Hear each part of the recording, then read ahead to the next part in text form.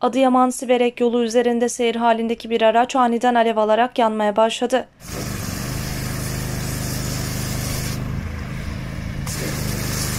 Otomobil sürücüsü aracını hızlıca yol kenarına çekerek kendini dışarı attı.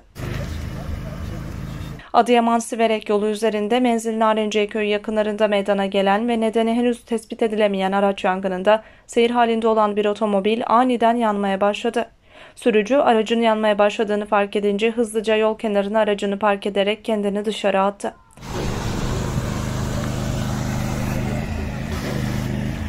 Bir anda alevler içerisinde kalan araç yol kenarındaki kuru otlarında yanmasına neden oldu. İhbar üzerine olay yerine sevk edilen itfaiye ekiplerinin müdahalesiyle hem araç hem de otlarla kaplı alanda meydana gelen yangın söndürüldü.